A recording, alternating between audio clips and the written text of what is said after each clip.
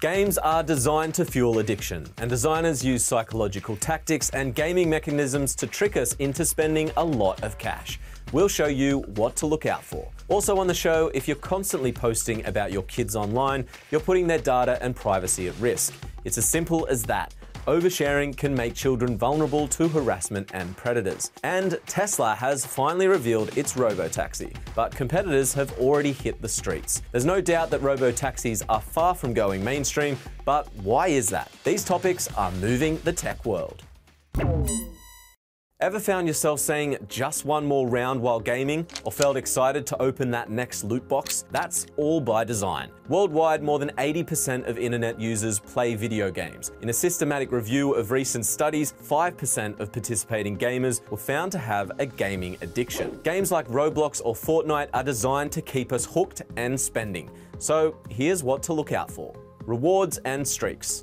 In-game rewards like badges or points trigger dopamine, your brain's feel-good hormone, which makes us want more. Games reward progress and repetitive actions like logging in daily. It's called building a streak.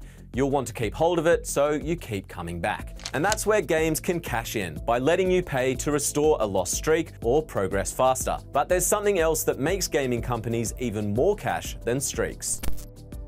Loot boxes.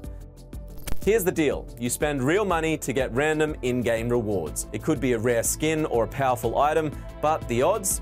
Not great. It's called variable reward, and it's extremely effective. You never know when you'll hit the jackpot, so you just keep going. Researchers say they can be dangerous, especially for kids who struggle to recognize and resist this mechanism. Loot boxes are a big part of what's called microtransactions. You pay a small amount, say just one euro, for each loot box. It doesn't seem like much, but it adds up pretty quick when you're chasing that rare item. A study by researchers at Central Queensland University in Australia found that participants spend between 31 and 45 euros on in-game content per month, while multiple studies suggest there's a strong link between using loot boxes and developing a gambling addiction. Another trick games often use fake in-game currency instead of real cash. That makes it harder to track your actual spending, and it gets worse when games are specifically designed to target kids. Some games are specifically built to attract the attention of kids. Roblox or Fortnite are great examples. Bright colors, fun characters, and references to memes and trends. But Roblox takes all of this to the next level by making gamers cash in on other gamers. By 2022, Roblox had over 61 million daily users and more than half of them were under the age of 13. In Roblox, users can design their own worlds. The developers incentivize and manipulate kids to apply the gaming tactics we spoke about earlier to keep other players hooked. And the kids who design these worlds in Roblox can even make real money from them. Creators earn a share of the revenue when people spend money in their worlds. By exploiting microtransactions like loot boxes, these creators cash in. Researchers are trying to understand why too much gaming can become addictive and harmful. It's hard to tell the difference between having a regular gaming problem or a full-blown addiction. So how can you protect yourself and your kids? Here are a few quick tips. First, monitor screen time and set limits. Apps like Screen Time for iPhones or Digital Wellbeing for Android can help you track playtime. Second, create kids accounts. Wherever possible, create a kids account for your child. They often block persuasive features in games. And thirdly, set a spending limit. Set a spending cap on your credit card or bank account to prevent overspending. To be honest, I don't think it should be up to us to be aware of these tricks. In Australia, for example, regulators have started placing age restrictions on games with loot boxes. It's not perfect, but it is a start. And of course, games are designed to be engaging. That's why we play them. We want something that keeps us hooked. But if they exploit that and make us pay to keep playing, or if they abuse gambling mechanisms, that's a line that needs to be drawn, especially when games cater directly to children. Do you have any idea who's using your kids' photos? It could be predators or even big tech. Let's break down the dangers of posting your children's pictures online and why protecting their digital privacy is more critical than ever before. AI training on pictures of children. Tech companies aren't exactly upfront about how they use our data. They're hungry for material to train their AIs, so they scrape the internet. Companies like Meta and X may be using your photos to train their models. You can opt out of this in the privacy settings, and luckily, most companies haven't been training their AI with private accounts, at least for now. But even if you opt out, third parties can still grab your posts. Earlier this year, Human Rights Watch reported that the dataset LAION-5B may contain thousands of images of children. Some of these are easily traced back to real people. This particular dataset has been used to train big AI image generators like Stable Diffusion and Midjourney, and there's a far more disturbing risk predators using your kids' photos as child abuse material. Many images shared in pedophile forums come from social media. Up to 50% of the images on those sites are grabbed from public posts. And AI is making it worse. In just a few clicks, someone can create a nude image of somebody else using a fully clothed photo of them. In one case, Spanish teenagers use an app to undress social media photos of their classmates. And there are plenty of other apps that can also be used to edit images of your kids. The easiest way to protect photos of your kids, set your and their accounts to private. That way, only people you trust can see your posts. You could also consider creating a closed Facebook group with family and friends, or use a group chat, but make sure it's an encrypted messenger like Signal or WhatsApp. What to do if your child's images are misused. If you do find your child's image online and want it removed, you can request to have it taken down. But finding the picture in the first place can be hard, and removing the picture, sometimes even harder. The tool Take It Down can help you with that. It creates a digital fingerprint or hash of the image being misused as child sexual abuse material and helps platforms identify and remove it. Several social media platforms are already using this tool, but most of the abuse doesn't happen on social media. It's actually hidden in dark web forums where predators share their collections, often pictures grabbed from public posts. Remember, once a photo is online, it will most likely stay there forever. So it's better to be safe than sorry.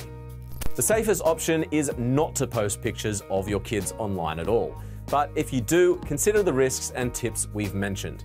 Think about blurring their face or covering it with an emoji. If you want to edit a photo this way, experts suggest doing so directly on your device instead of using the photo editors on social media platforms. Why? When you edit a photo directly in an app, the original is uploaded to a server somewhere. From there, it could potentially be grabbed for AI training or even be exposed in a leak. In general, when it comes to sharing photos of your kids online, avoid sharing private moments like bath time or any other time when they're not fully clothed. And most importantly, talk to your kids and get their consent before posting photos of them online. The same goes for your cousin's son or your neighbor's daughter. Always speak to them and their parents first. In some countries like Germany, that's actually the law. Children aged 7 to 18 have the right to control their own image image online. Would you take a ride in Tesla's new robo-taxi? So I hope this goes well. Elon Musk has been teasing Tesla's fully autonomous robo-taxis for years, but there's still no concrete launch date in sight. Musk says production will probably start sometime before 2027. Until then, the car manufacturer needs to improve its existing technology. Tesla continues to face criticism for their self-driving software, which isn't actually fully self-driving and tends to fail. So let's see if Musk misses yet another deadline. Meanwhile, other companies already have robo-taxis on the road. In the US, US, Waymo is leading the charge with over 100,000 paid rides every week. Amazon is also gearing up to launch its own fleet soon. And in China, Baidu has rolled out its commercial robo-taxis. But outside the US and China, robo-taxis are still rare. Take India, for example. It's a global tech hub and one of the world's largest car markets. But there are big challenges when it comes to self-driving cars. That's because roads are chaotic with few signs or traffic lights. Basically, no standardized infrastructure. For an AI, that's simply a nightmare. Plus, there's a ton of vehicles and pedestrians that could overwhelm the system. And this isn't just an issue in India. Many other regions like Latin America face similar problems. And in Europe, strict regulations often keep robo-taxis off the roads altogether. Even in the US, where robo-taxis are gaining traction, many people are wary. Two thirds of the population say they wouldn't ride in one if they could. People really aren't on board yet. So much so that robo-taxis have even been set on fire. So why the resistance?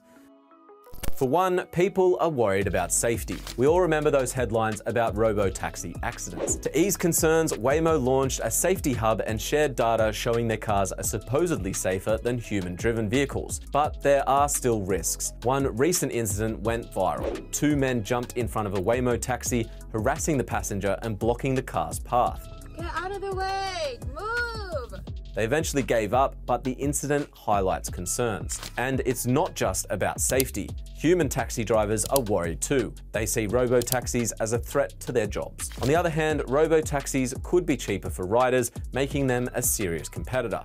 So what needs to happen before robo-taxis can go mainstream? Firstly, better infrastructure. Cities need to invest in tech-friendly infrastructure like smart signals, dedicated lanes, and clear road markings for robo-taxis to navigate.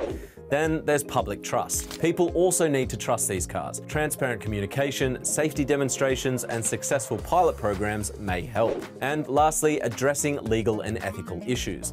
Clear guidelines are needed for companies operating robo-taxis. This includes liability, data privacy, and ethical concerns like job loss for human drivers. In theory, robo-taxis could make roads safer by reducing human error. They could also ease traffic through smarter route planning. But after seeing this video of Waymo taxis honking at each other, I'm not convinced yet. There are also major privacy concerns when it comes to self-driving cars and other smart devices. Let's take a closer look at that. It's true that smart cars can gather lots of sensitive data and cause harm. These are the three main risks. Gathering user data. If a car system has a voice assistant, hackers or those controlling the software could eavesdrop on conversations. They could also access onboard cameras. Beyond that, tracking the car's routes and stops via GPS would create a detailed picture of the driver's daily life. Together, this data could reveal intimate details about the person behind the wheel, putting their safety at risk. Gathering information on locations and infrastructure. Using the car's external cameras and sensors, someone with remote control could gather detailed data about the surrounding areas that the car travels through. This could give them valuable insights into critical infrastructure, such as power plants or even military bases. Manipulation of navigation systems. Many of the latest smart cars can be controlled remotely, which means they could potentially be steered against the driver's will. Theoretically, that means that smart cars could intentionally be used to harm people inside or around them by causing an accident. To sum it up, smart cars have a lot of potential for misuse. Well, that's it from us. Keep your eyes out and see you next time.